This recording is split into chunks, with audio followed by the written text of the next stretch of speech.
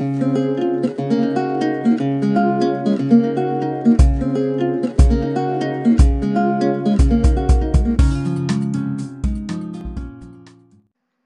दोस्तों, मेरा नाम है रोहित और आप देख रहे हैं माई टेक्निकल पेज आज की इस वीडियो में आप सभी का बहुत बहुत स्वागत है।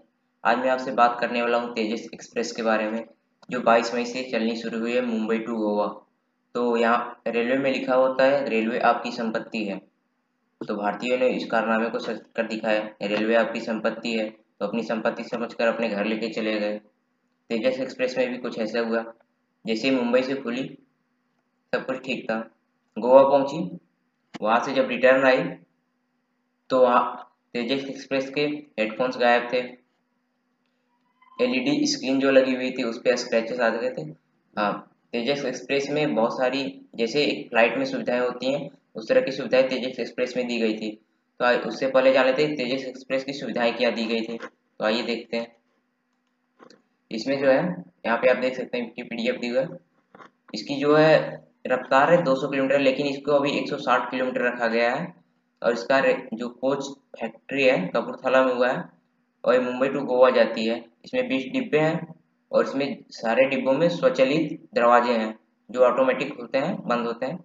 इसमें चाय और कॉफ़ी के लिए वेडिंग मशीन लगी हुई है। प्रत्येक सीट पे एलईडी स्क्रीन लगी हुई है आपका गेम खेलने के लिए या वीडियो देखने के लिए या नेट सर्फिंग करने के लिए। वहाँ लगाई गई है और उसमें वाईफाई की सुविधा भी है। और इसमें बायो वैक्यूम शौचालय है। टचलेस पानी का नल है।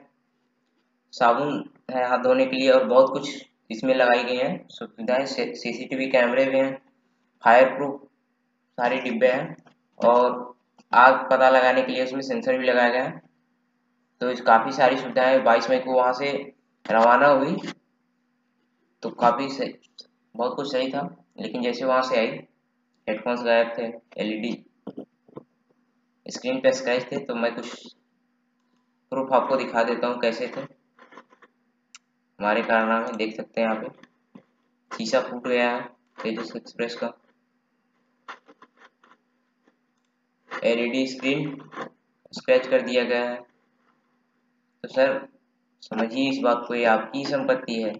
ये आपके लिए ही बनाई गई है, न कि आपको घर ले जाने के लिए। इसमें सारी वो सुविधाएँ जो आपको फ़्लाइट में सुविधाएँ मिलती हैं। तो इसकी सुरक्षा करना आपकी ज़िम्मेदारी है। तो ये वीडियो आपको अच्छा लगता है तो लाइक करिए कमेंट करिए। अगर आपने अभी तक हमारा चैनल सब्सक्राइब नहीं किया है तो सब्सक्राइब करिए। जय हिंद, जय भारत।